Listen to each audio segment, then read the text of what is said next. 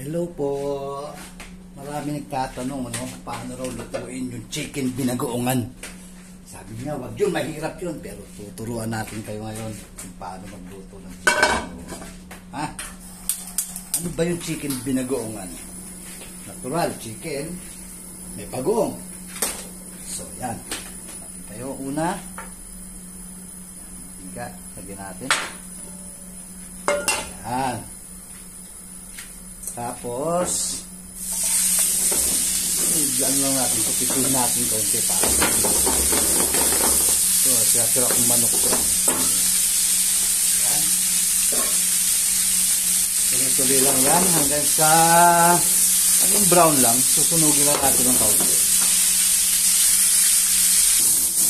Yan, tuloy-tuloy lang hanggang maging brown. Oo, ba't may paa?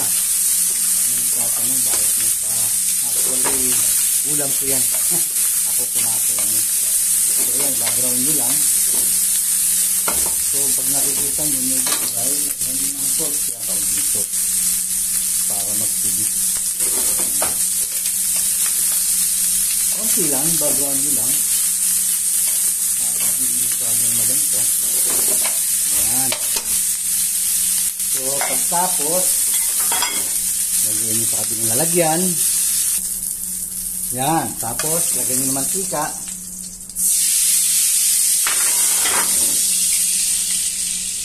Marami nag-aaway. Ano ba una? Sibuyas. Yan. Ay.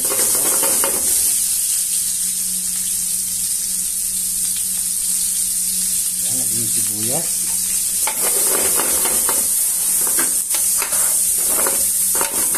Medyo okay na. Bawang. Yan. Kita nyo. Huwag mo masyadong susunod. Yan. Medyo kayo rin.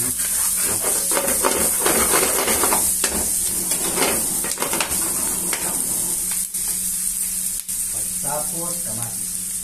Yan. Kamatis.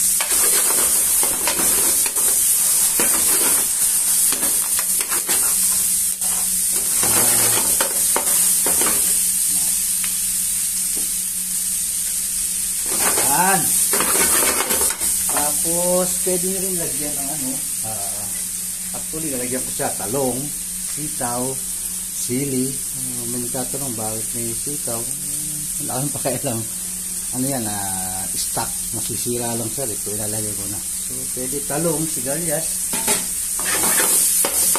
Sulat natin kaunti. Minuto.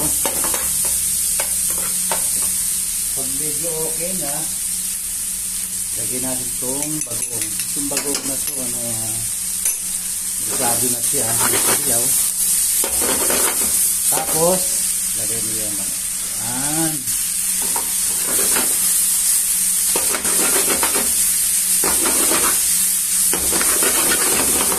Yan.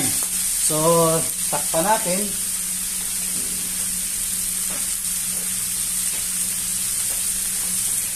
after 10 minutes. So, yan, after 10 to 12 minutes, nyo na. So, yan, medyo luto na siya. So, lagyan natin, sigaw natin. Yan, ito. Yan, kaunting salt. Ako, naglalagay ako kaunting sugar yan, para pang ano. Tapos, hindi ba ayaw ng suka, pero ako naglalagay ako kaunting suka. Kaunti lang para, yan, tapos kaunting toyo. Tuyo nyo lang kaunti. Tapos tubig.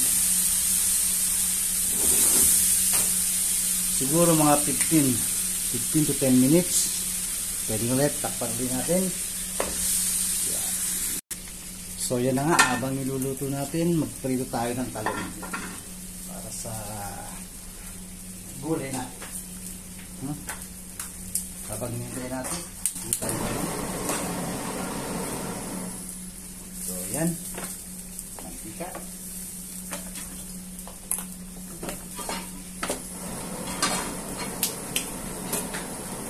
Yung talong naman kahit anong slice, bahala na kayo. Gusto nyo pahaba, gusto nyo maliit. Sa inyo na yun. Hmm. Sabi nila, kahit naman anong hiwa, yan yung sasalita yan. Iba naglalagay ng gata. So, pwede rin may gata. Iba, wala. So, sa akin kasi, wala naman sa gata. Bali din sa pula. Napakasimple na ito. Kaya iba nagmamadali. So, ito. Simple-simple.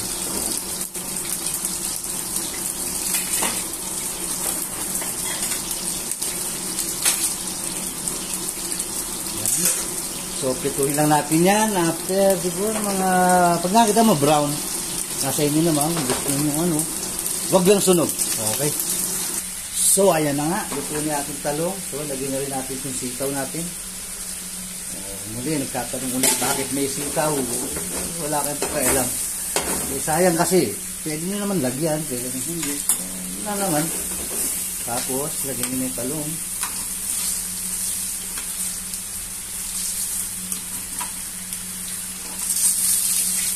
Yun, ganyan lang kasimple. Tapos, hintayin lang natin yung tuyo ng kaunti. Pwede na. Yan. Tignan natin.